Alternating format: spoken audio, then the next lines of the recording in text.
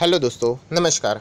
S M किसी channel में मैं आप सभी लोगों का दिल से बहुत बहुत स्वागत करता हूँ। सो so, दोस्तों इस वीडियो में हम लोग यहाँ पे बात करने वाले रिलायंस इंडस्ट्री के बारे में। यस दोस्तों रिलायंस इंडस्ट्री में आज बहुत टाइम के बाद एक अच्छी खासी जंप यहाँ पे देखने को मिली। उसी से रिलेटेड हम लोगों को यहाँ पे देखना है कि रीजंस क्या है कुछ चीज़ें यहाँ पे बोली जा रही है वो भी हम लोग को यहाँ पे पकड़ना है। एंड कुछ गलत फहमियाँ भी रहेगी उसे भी हम लोग दूर करने की कोशिश ज़रूर करने वाले। वीडियो के शुरुआत में वापस डिस्क्लेमर देना चाहूँगा कि येस ये शेयर मेरे भी पोर्टफोलियो में अगर आपको लगता है कि यहाँ पे कोई मैं वन साइडेड बातें यहाँ पे करो तो डेफिनेटली आप उन चीज़ों को यहाँ पे इग्नोर कर सकते हो एंड खुद का डिसीज़न यहाँ पे ले सकते हो राइट उसी के साथ साथ आज के दिन आप देख सकते हो दो वीडियोस अपलोड हो चुके हैं। दोनों वीडियो के लिंक नीचे डिस्क्रिप्शन बॉक्स में मिल जाएगी। फ़र्स्ट टाइम विज़िट किया चैनल को सब्सक्राइब करके बेल आइकन को हिट कर लेना एंड स्टॉक मार्केट क्लासेस को भी फॉलो कर सकते हैं। लिंक ऊपर आई बटन पे नीचे डिस्क्रिप्शन बॉक्स में मिल जाएगी। सो so, दोस्तों अभी हम लोग आ चुके हैं बिल्कुल हमारे नॉर्मल स्क्रीन के ऊपर। सबसे पहले तो शुरुआत हम लोग यहाँ पे करेंगे रिलायंस इंडस्ट्री के बारे में। चार परसेंट की तेज़ी। राइट? ये चार परसेंट की तेज़ी रिलायंस के लिए नॉर्मल हुआ करती थी बट यहाँ पे कुछ टाइम तक अगर हम लोग बात करें, लगभग पिछले छः महीने तक ये जो तेज़ी है, वो बहुत बड़ी अभी नज़र सामने आ रही है, क्योंकि बिल्कुल भी कोई मूवमेंट नहीं था। आप लोग क्लियर कट देख सकते छः महीने का चार्ट पैटर्न यहाँ पे ये देख लेना। बिल्कुल भी मतलब डेड जैसे कंसल्टेशन फ़ेज़ में लंबी अवधि के। सो so, ये कोई नॉर्मल कंसल्टेशन फ़ेज़ नहीं जस्ट बिकॉज़ ऑफ़ आप सभी लोगों को पता है अनसर्टिनिटीज़ इतने सारे अनसर्टिनिटीज़ इस स्टॉक के साथ चिपक चुके हैं जिसके कारण इस स्टॉक में हम लोग को पैसा आते हुए देखने को नहीं मिल रहा था। सो so, हम लोग कह सकते एक ऐसी अनसर्टिनिटी जो इस कंपनी के साथ यहाँ पे जुड़ी हुई है राइट होगा नहीं होगा क्वेश्चन मार्क्स रहते हैं वो अभी हम लोग को ख़त्म होती हुई देखने को मिल सकते हैं। एंड इसी से रिलेटेड यहाँ पे बहुत ज़्यादा चर्चाएँ बाज़ार में चल रही है। एंड वही रीज़न अगर हम लोग पकड़े तो रिलायंस इंडस्ट्री में हम लोग को आज के दिन यहाँ पे फ़िलहाल तेज़ी देखने को मिल रही है। दोस्तों, मैं वापस कहना चाहूँगा मार्केट में बहुत सारे खबर रहते हैं, बहुत सारे मतलब बहुत सारे। सो कभी भी इससे रिलेटेड और भी अलग अलग न्यूज़ सामने आ सकते हैं। आप सभी लोगों को पता है, बहुत सारे खबर लेट भी आ जाते हैं। राइट? तो वो भी अगर बाद में अगर कोई ऐसी खबर आ जाएगी तो डेफिनेटली मैं आप लोगों के लिए बता दूँगा। बट अभी जो फ़िलहाल यहाँ पे सबसे हॉट खबर यहाँ पे चल रही है तो आप सभी लोगों पता है ओ बिज़नेस से रिलेटेड जो कि ये इनको सेपरेट करने की बात कर रहे हैं।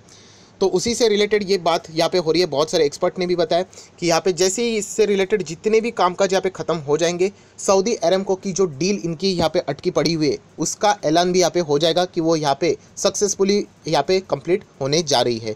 सो वापस कहना चाहूँगा रिलायंस इंडस्ट्री से और से ऐसा कोई भी ऑफिशियल अनाउंसमेंट नहीं है, क्योंकि वो तो फ़िलहाल ओ बिज़नेस को ही यहाँ पे अलग करने से रिलेटेड यहाँ पे कामकाज कर रहे हैं राइट ऑफिशियली कोई भी अनाउंसमेंट नहीं होती है वो सारी चीज़ें सोर्सेज के द्वारा सामने आती रहती है। सो so, यही सबसे बड़ी खबर फ़िलहाल बाज़ार में यहाँ पे हम लोग को घूमते हुए देखने को मिल रही है। आप देख सकते हैं O two C stake sale से रिलेटेड जो बात सामने आ रही है।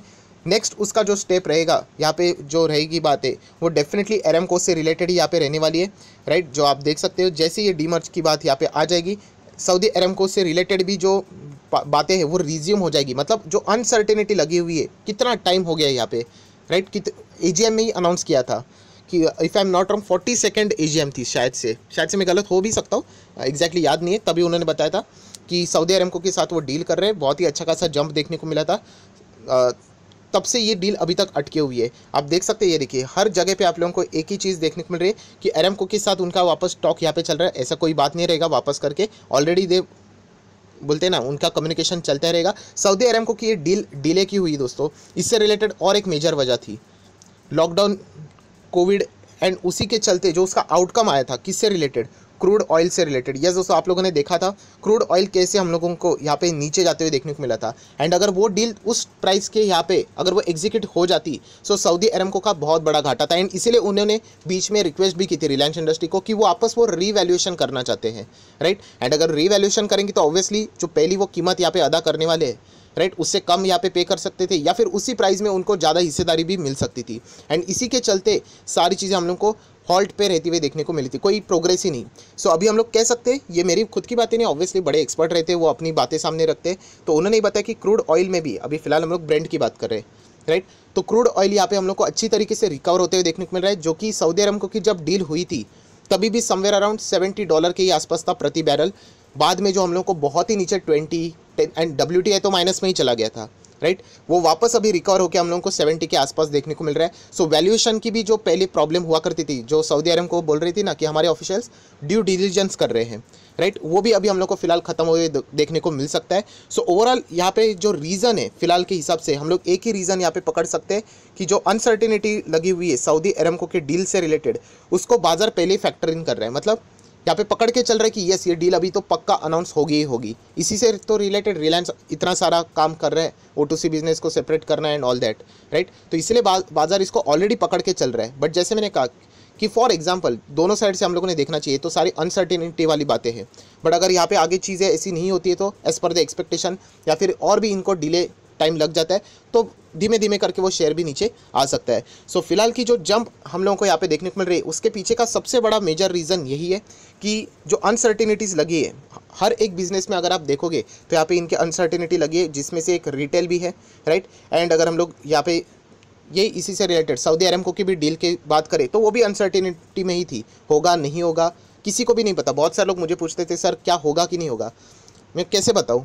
होना तो चाहिए ऑब्वियसली अगर नहीं होगा तो शेयर नीचे आ जाएगा राइट तो यही चीज़ फ़िलहाल तो हम लोगों को यहाँ पे एक पॉजिटिव वे में देखने को यहाँ पे मिल रही है। एंड अगर हम लोग थर्ड रीज़न देखें, सबसे पहला रीज़न जैसे मैंने बताया ओ टू सी बिज़नेस सब मतलब सऊदी अरब को की डील से रिलेटेड सेकंड रीज़न भी ऑयल से रिलेटेड ही था क्रूड ऑयल की रिकवरी बहुत शानदार है। सो इससे रिलेटेड सऊदी अरब को की डील समझ में आ रहा है कि हरा निशान मतलब आगे जाके अनाउंसमेंट होना बाकी है कि येस हमारी डील कंप्लीट हो चुकी, ये बाकी है। एंड अगर थर्ड रीज़न की बात करें जो एक्सपर्ट ने यहाँ पे बताया कि रिलायंस इंडस्ट्री यहाँ पे इस रैली में पार्टिसिपेट हुआ ही नहीं है, जो कि हंड्रेड परसेंट सच बात है। दोस्तों, आप लोगों ने देखा होगा जब market somewhere around twelve thousand भी था रफली पकड़ लेना वर्ड टू वर्ड पकड़ मतलब वर्ड्स टू वर्ड्स कैच मत कर लेना, बारह हज़ार था, तभी भी रिलायंस दो हज़ार के रेंज में था।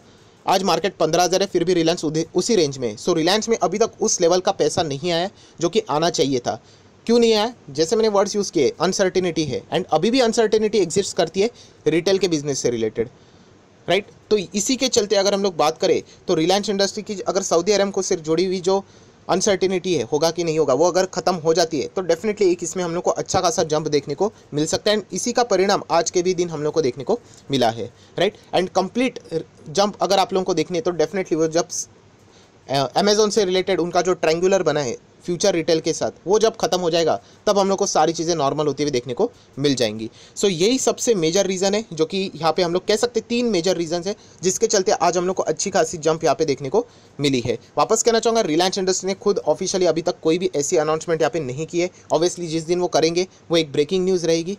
फ़िलहाल अभी भी हम लोग इसको क्वेश्चन मार्क लेके ही चलेंगे बट उनके एक्शन से बोलते हैं ना एक्शन से हम लोगों को ये चीज़ें पता चल रही है कि शायद से अभी इनके डील यहाँ पे फुलफिल हो जाएँगी एंड इससे रिलेटेड जल्द से जल्द अनाउंसमेंट भी पूरे मार्केट के सामने आ जाएगा। सो इसी को पकड़ के फ़िलहाल रिलायंस हम लोग को जंप करते हुए देखने को मिल रहा है। आज के दिन की बात करें तो आप लोग देख सकते हैं, मैं जूम करके दिखाना चाहूँगा। लगभग thirty five thirty six percent की डिलीवरीज देखने को मिल रही है। सो so, दोस्तों वीडियो को क्लोज करने से पहले वापस कहना चाहूँगा लिख के बोलना चाहूँगा ये सारी चीज़ें रिपोर्ट्स के ज़रिए हम लोग को सामने आ जाती है। ये तीन रीजंस की अगर हम लोग बात करें राइट अभी तक कोई भी ऑफिशियल अनाउंसमेंट ना तो सऊदी अरब को से ना तो रिलायंस इंडस्ट्री से भी है।